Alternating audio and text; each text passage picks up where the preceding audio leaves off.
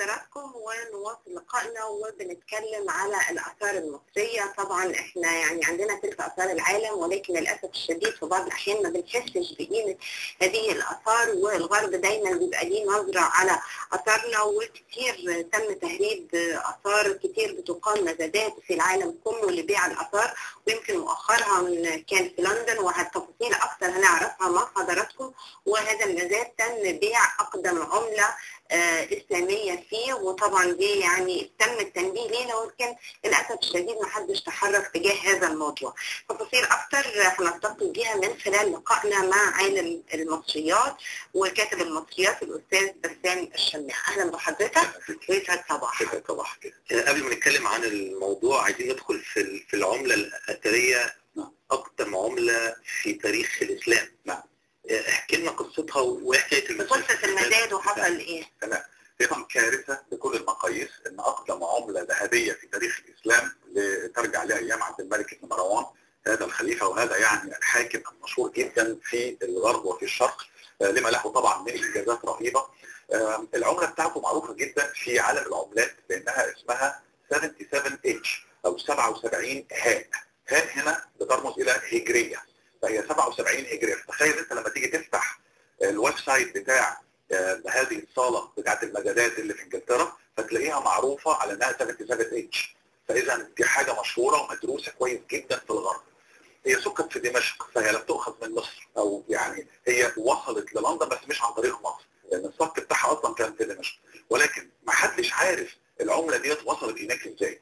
فلما يعني عرفنا عن حكاية إنها هتتباع في مزاد عالمي ف- فالحقيقة ده أثرنا جدا. يعني أثرني أنا شخصيا. قلت إزاي قطعة من التاريخ الإسلامي تباع في مزاد عالمي؟ زائد بقى لما طلعت عملت الصرخة في الإعلام وانتوا اديتوني فرصتين عشان أطلع أقول للناس كلها خدوا بالكم العملة ديت. آم، هنا وفي في مدينة الإنتاج الإعلامي وحدات كتيرة. فبدأ التحرك بالفعل في لندن.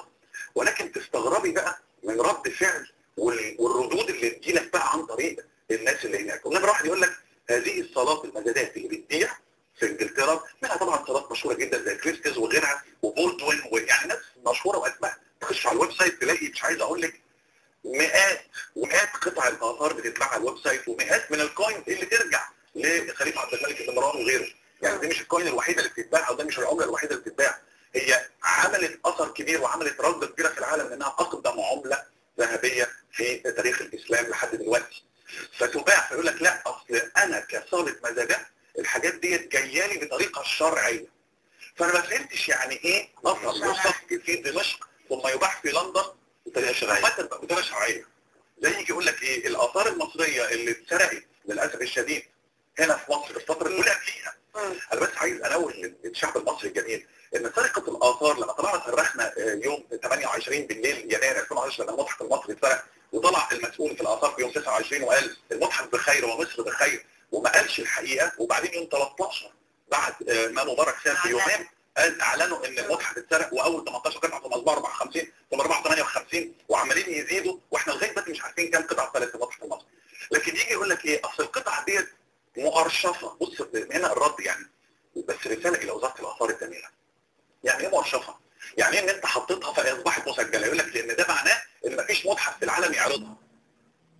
هو الحرامي يعني ما إن حد يقتنيها طبعا يعني أنا بس عايز الحضرتك سؤال بالمنطق بلاش يعني بلاش القوانين بالمنطق كده. واحد حرامي راح يبيع أثر لواحد حرامي هياخده سمسار هيوديه لواحد صهيوني.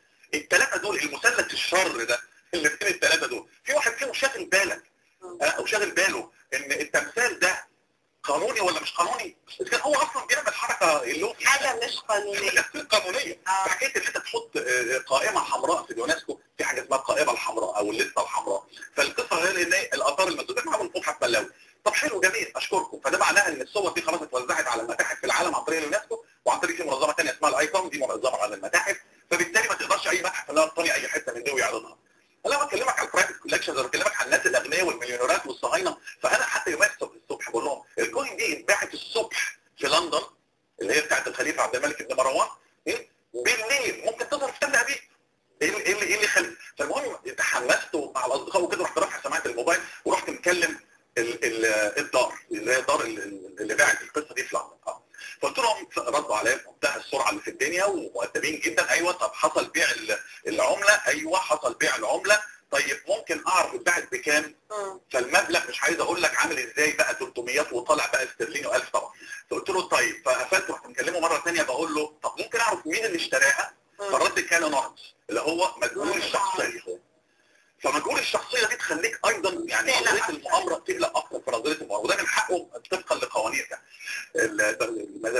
so you can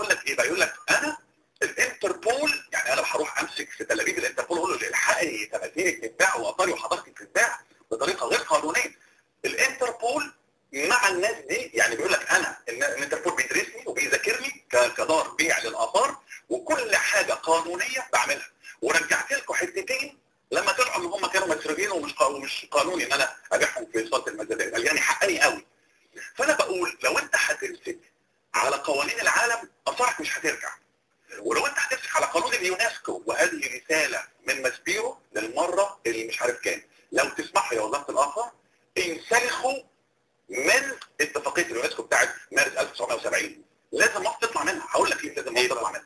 فيها مادة لن لن يتخيلها ال 94 مليون مصري. اسمها مادة 4 ارتكل 4 ارتكل 4 دي أو المادة 4 دي أو الروح يعيدوا هذا القانون اللي اشترك فيه السادات سنة 73 القرار ده جمهوري عشان كده أنا بقول ده عايز قرار يعني سيادي أو جمهوري إن إحنا نطلع بره ليه؟ بقى؟ الأربعة دي باختصار بتقول لك إيه؟ لو بلد أو حضرتك بلد وأنا بلد وانت بعتيني أثر من عندك من موروثك الثقافي انت شيء تمثال مثلا الملك رمزي فأنت اديتهولي هدية. أو اديتهولي بالاتفاق بين البلدين اثنين ثلاثة بطريقة البدل عندك اثر ترجعيه آه كده أو بطريقة دراسة المسؤول أو المسؤولين بتوع الاثر بتوع البلد دي إن إحنا ممكن أوكي نديك الحاجة. دي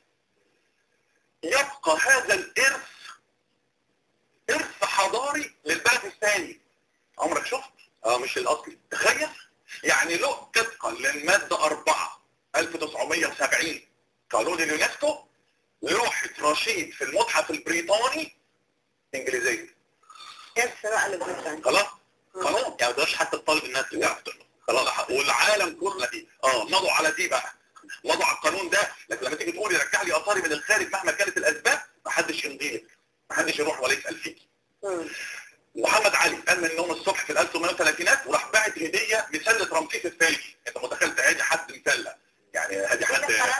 اللي فرنسا برافو عليك احسنت اللي هي كلاسيكال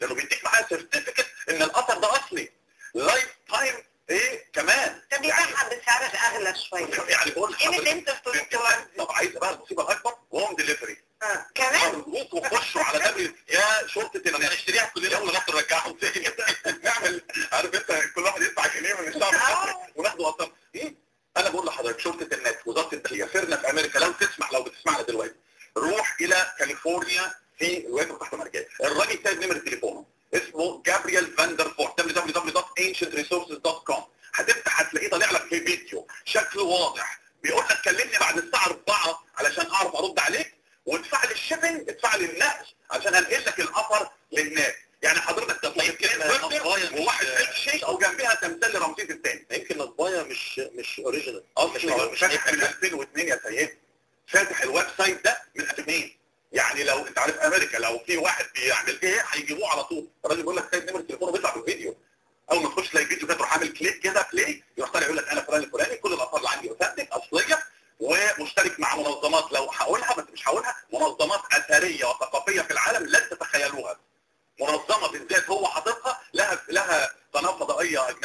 بتعرض افلام تسجيلات كلنا بنحبها. وعلامتها كده بالوضع اصفر مش هقول إسمها. دي دي دي, دي إحنا ذات نفسنا بن- بنتقتل على مجلاتها وعلى كتبها. إحنا بنحبها جدا القناة دي. إزاي هذه المنظومة تشترك مع هذا الرجل وتسيبه من 2002 لغاية دلوقتي؟ يقول لك كل الآثار اللي دخلت واللي أنا ببيعها من قبل 1970 عشان ما تعرفش تمسكيه وتقولي له إيه أنت كنت بتبيع بعد قانون اليونسكو. لا آه. الآثار دي دخلت أمريكا بطريقة شرعية. يعني الراجل ده بيدفع ضرائب. الراجل ده بعد البركة بيدفع ضرائب على اثار ما بتتباع والا كان اتقبض عليه. طب إزاي بيعمل shipping إزاي بيعمل نقل؟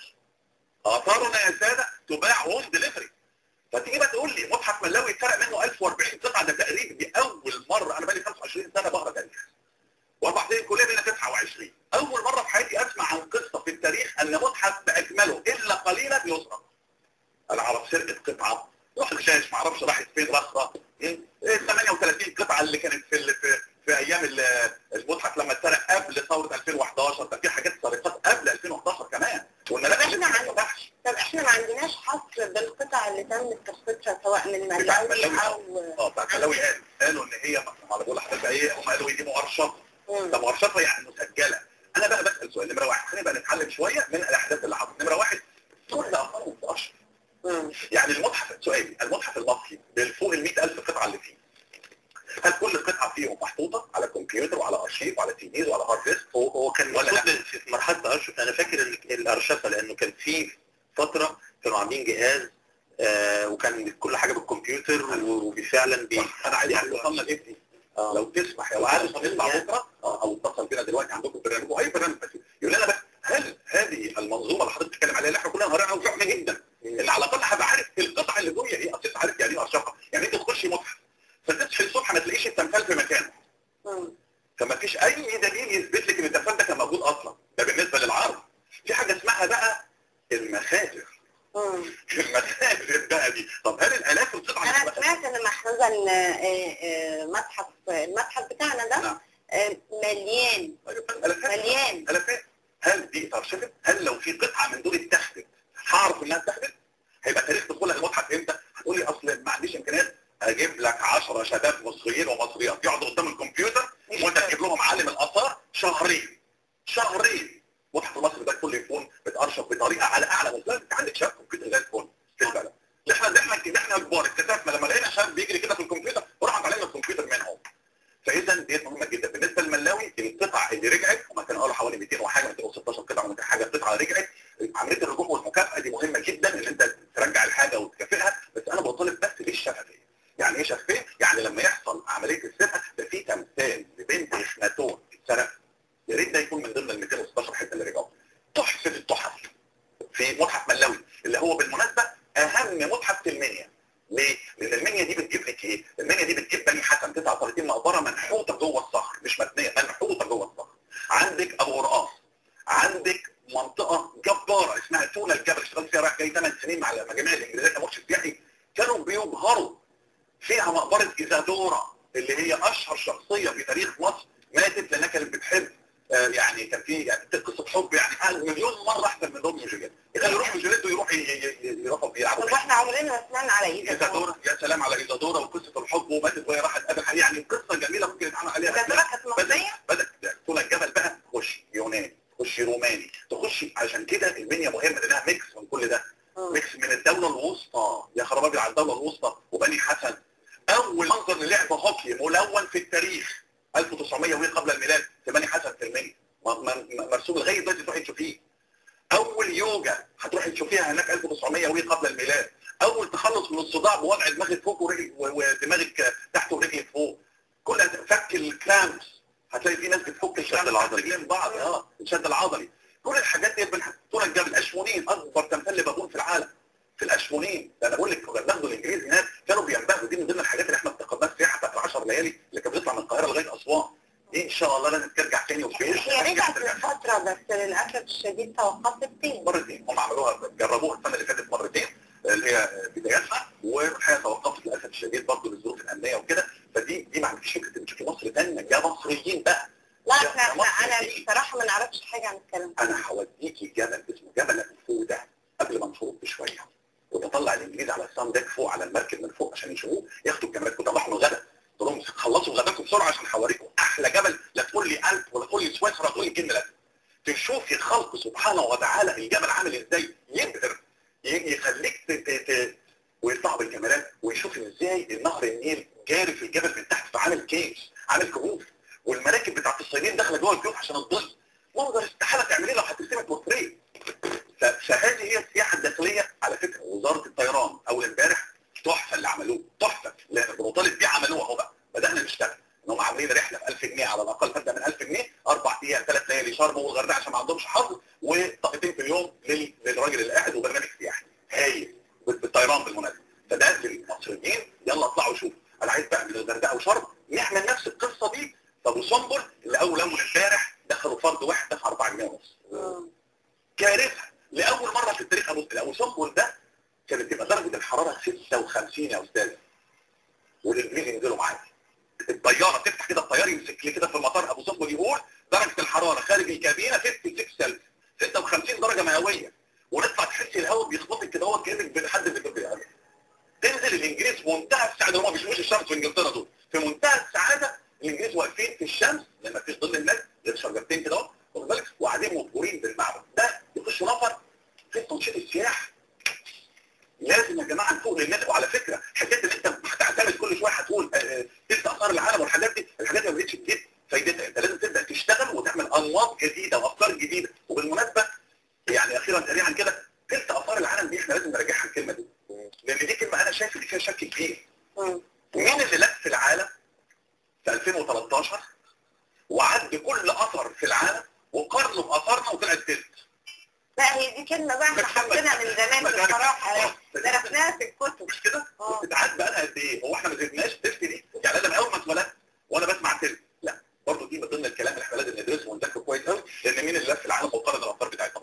طب قبل ما نختم سريعا أنا كنت مرة قريت إن اليونسكو عاملين مشروع لحصر كل الأثار اليهودية في العالم هل الكلام ده صحيح؟ ارجوكم خشوا على اليونسكو واضربوا كلمه فلسطين مم. أو خش على النت واكتبي Palestinian monuments على فكره أنا مهتم وبدي محاضرات في تهويد التاريخ وتهويد الوقت مم. شوف المفاجاه والصور اللي هتطلع لك في الاثار اليهوديه إيه من اوائل الصور قبه الصخر خلاص اعتبروها خلاص يهوديه خلاص كده ما تلومش بقى انا ربنا اكرمني نوفمبر اللي فات رحت المسجد الاقصى شوف هناك المسجد الاقصى وقبه الصخره وشوفهم هناك الأرض والجمال وحب الفلسطينيين لمصر اوعوا تسيبوا القدس واوعوا تقولوا ما نروحش وبتروح من غير اي بتاع على الباسبور والكلام ده كله والعبراني وتشتغل ما تشتغلش بالشيكل وتقعد مع الفلسطينيين في الفنادق بتاعتهم وتفيدهم جدا.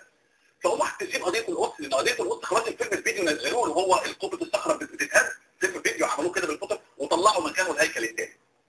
فدي مهمة جدا حكاية إن أنت ما تستنيش اليونسكو إن هو يجيب لك حقك. أنت لازم تروحي القدس ليه؟ عشان النهارده عندك لا هو أنا سؤالي إحنا بنتقدم يعني مثلا أي دولة عايزة تعمل الموضوع ده هي بتتقدم لليونسكو علشان تعمل لها حفظ نعم. لاثارها أيوه ولا اليونسكو هي لبعض برافو؟ عليك. سؤال هام وفلسطين بالمناسبة فلسطين بالمناسبة دخلت اليونسكو مم. وعشان كده أنا توقعت يوميها قلت لهم أمريكا مش هتدي مليم لليونسكو. اليونسكو هتفتكر مم. فتيجي تقولي اليونسكو الحقيقي ابني لي آه، متحف أو ابني لي مش عارف إيه تقول لك طب هنشترك طب هنعمل طب هنلم تبرع يعني أول امبارح قال لك إيه؟ هنلم تبرعات عشان نبني في مصر مش عارف إيه متحف فلاوي العيد مش عارف بتاع إيه. هنلم. زمان كانت اليونسكو هي اللي بتبني. ليه؟ لأن أمريكا مش هتطلع مليم بعد ما أنت دخلت فلسطين جوه آه، اليونسكو فلسطين دلوقتي ممكن تقف بقى وسط العالم ك member كعضو فاعل في اليونسكو وتقول إيه اللي أنتوا بتعملوه في المسجد الاقصى ليه بتبنوا الانفاق تحت المسجد الاقصى هتهدوا المسجد الاقصى ليه؟ ده اثر جوه اليونسكو وبما ان هو اثر تراث عالمي جوه اليونسكو ما تقدريش تعملي عليه بالقلم مم. حرف واحد ليه؟ لأن ده قانون يونسكو واليونسكو تروح تقفل الابواب وتروح بقى لانها ما انقذتليش اثر هم مش هيبصوا عليه على انه المسجد الاقصى زي ما إحنا بنبص عليه لأن هو واحد من الثلاث مساجد اللي بتشد الرحال إيه ولكن هنبصوا عليه على انه اثر ولكن من هنا أنا بقول لك لزاما علينا لا ننسى قضية الآثار في فلسطين. وخدي بالك إن السور اللي عملوها أنا رحت شفته حتة سور ابن اللذين عنصري في القدس الشرقية والقدس الغربية ما يفوتش نملة بس إن شاء الله باذن الله يفوت كل الجيوش وجهات الإسلام تخش. أنا بقول لك إن السور ده لما بيتبني تحتيه ممكن يبقى فيه أثر. الصهاينة ممكن يكونوا بيبنوا ده فأنت بتلاقي خلاص انسى ان الأثر ده يكتشف أو ينقب. ومن هنا الطلب الأخراني لو تسمحوا تنقيب الآثار في مصر مصريين. مصروا علم الآثار المصري لو تسمح يا وزارة الآثار. الاجانب على عيننا وعلى راسنا والمشاكل اللي بيننا وبين الدول دي هتروح لأن السياسة قالت كده والدبلوماسية قالت كده. هتاخد وقتها وتروح هيرجعوا اصحابنا تاني وكل حاجة. لكن أنا بقول بقالي مليون سنة مش عشان الاحداث دلوقتي بقول بقول وفتح اليوتيوب شوف أنا بقول إيه. لازم المصريين هم اللي يلقبوا بإيديهم. ما كنتش أنت يا مصر؟ هتلقب عن اثارك بإيديك. أمال ليه؟ عمرك سمعت في حياتك؟ أمريكا راح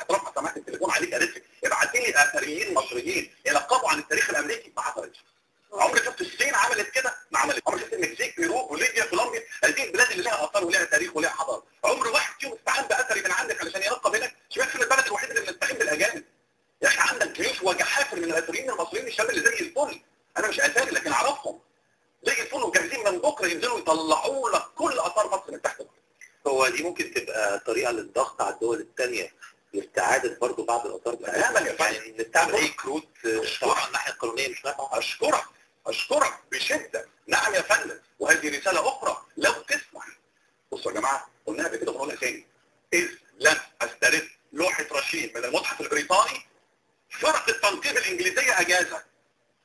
لو ما استردناش راس نفرت ايدي مش نفرت شكل نفرت ايدي نفرت ايدي من برلين الفرق التنقيب الالمانيه اجازه واجازه دي كلمه يعني أنا بقولها كده بس يعني يعني اطلع بره خالص اكزو أنا عندي مصريين زي الفل عايز تساعدني اديني اجهزه دربت الشباب بتاعي عندك في المتاحف وحط اسمك برضه على الاكتشاف أنا برضه جدع وكريم يا مصري هما يستفيدوا إزاي يعني لو عملوا مين ده يا فندم واسترد أنا أنا شفت بوستر في التسعينيات في أمريكا بيتباع ب 19 ونص دولار لاخناتون لل- للفتره بتاعت الاسره 18 في أمريكا دلوقتي البوستر ممكن يوصل له 80 90 دولار اللي هو دولار عنده ده مكاسب هايله الكتب. حضرتك لو رحت التحرير هنا في مكتبة من المكتبات الأجنبية هتلاقي كتاب عن معبد أبيدوس ب 150 جنيه. أنا علشان اعرف عن معبد أبيدوس. بروح اشتري كتاب. بتروح تشتري من جد عشان تعرف المواقع الشهر اللي فات اللي تم اكتشافها ب 70 جنيه. أنا يا مصري.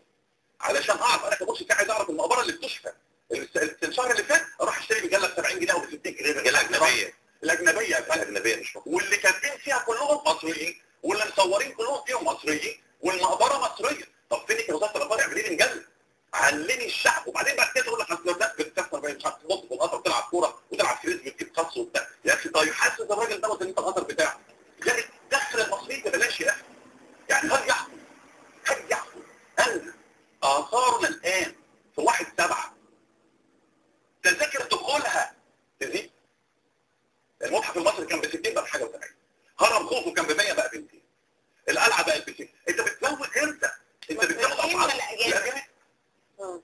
يعني انت بتقول يا سياحه وبتقول يا تنشيط والراجل هشام زعزوع عمال يلف في العالم لما خلاص الراجل إيه؟ راجل نشيط شغال وأنا لا اعمل في الحكومة زي ما أنتم عارفين فهذا الوزير اللي هو وزير السياحه وال- وكلنا في السياحه عمالين بكره رايحين نقف قدام ابو الهول عشان نقول للعالم تعالوا المرشدين السياحيين بكل لغتنا كويس؟